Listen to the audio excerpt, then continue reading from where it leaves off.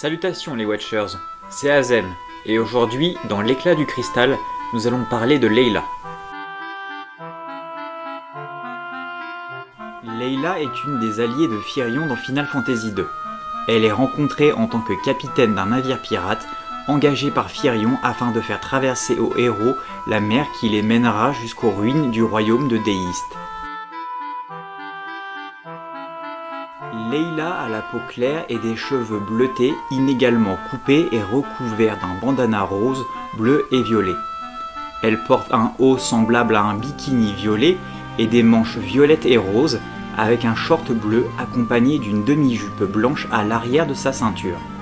Elle porte deux fourreaux à dagues à la ceinture, une épaulière dorée et porte des chaussures violettes.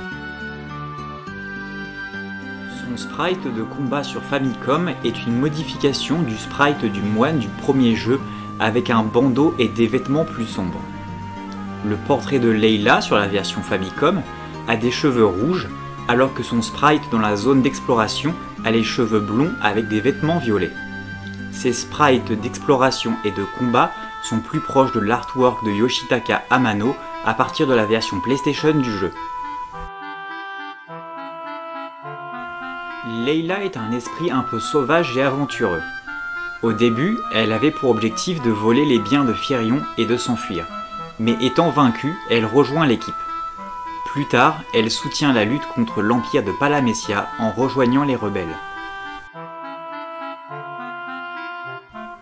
Elle les accompagne à Deist, là où ils font le nécessaire pour sauver le dernier œuf de Wyvern, puis ensuite jusqu'à Finn.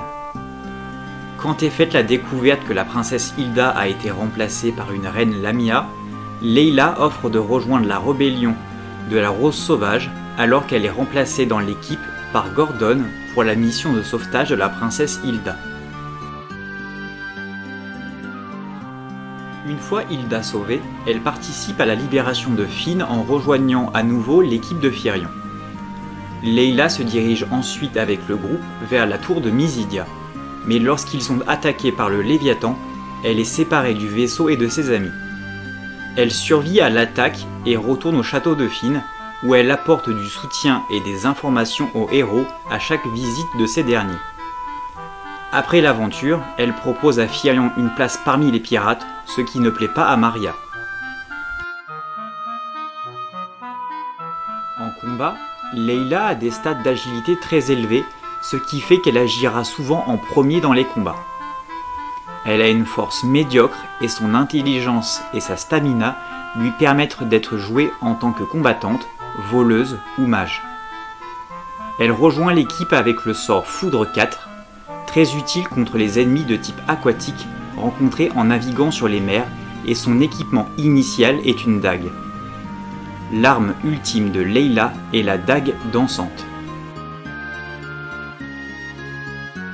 Leila apparaît dans Pictologica Final Fantasy, dans Final Fantasy Airborne Brigade, dans Final Fantasy Record Keeper, ainsi que dans le Final Fantasy Trading Card Games, où elle a deux cartes à son effigie.